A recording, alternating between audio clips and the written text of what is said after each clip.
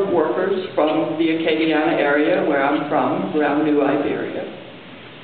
And the families were extremely distraught because they knew their loved ones were on the rig. They didn't know whether they were safe or not. They didn't know if they made it off or not.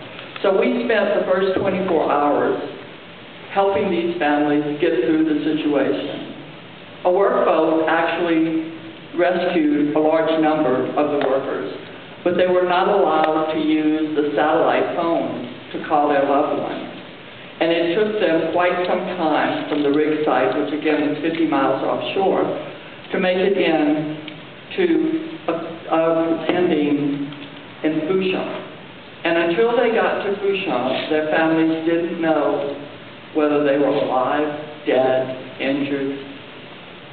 And I hate to say safe, but the horrendous impact it's had on every one of those workers is just tremendous. The well, the rig burned, and on April 22nd, Earth Day, it sank into the Gulf of Mexico. Earth Day was supposed to be a really special day for us. Mary Lior, Aline, and I, and Paul and Michael have been working with Jon Bowermaster, and he had put together a companion book to Ocean, the Disney movie. And I had written one of the chapters, there were 30 chapters in the book, and he selected people from across the world to write chapters. And the book Oceans was being released on Earth Day, and it was going to be a really special Earth Day. And in fact, it was a really horrible Earth Day. Next slide. From the day the rig exploded and burned, it started dumping Louisiana Sweet Crude and natural gas from the wellhead which was 5,000 feet below the surface of the Gulf of Mexico. And the Louisiana sweet crude and natural gas flowed from that well from April the 20th through July 15, 2010. BP had goals. Their goals were two.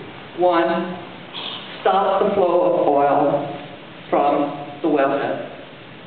And two, stop as much of that crude oil from making it to the shores and having an impact on the wetlands and beaches of the northern Gulf of Mexico.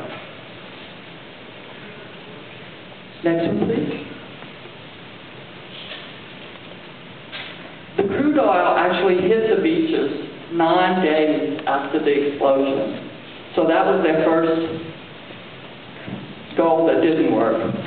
And as you know, the one of stopping the crude didn't happen until July 15. So they didn't meet any of their initial goals they had set forth.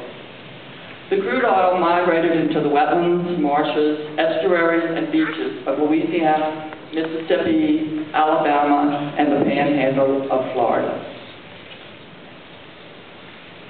There are two human populations that were impacted the most. And we will hear a lot more about other populations, but initially there were two. There were community members living along the coastal areas of Louisiana, Mississippi, Alabama, and the panhandle of Florida. And then there were the fishermen and workers who were employed by BP and BP contractors to install booms and clean up the crude oil. Both of these communities consisted of environmental justice communities, African Americans, Vietnamese, Pacific Islanders, Laotian, and Native Americans.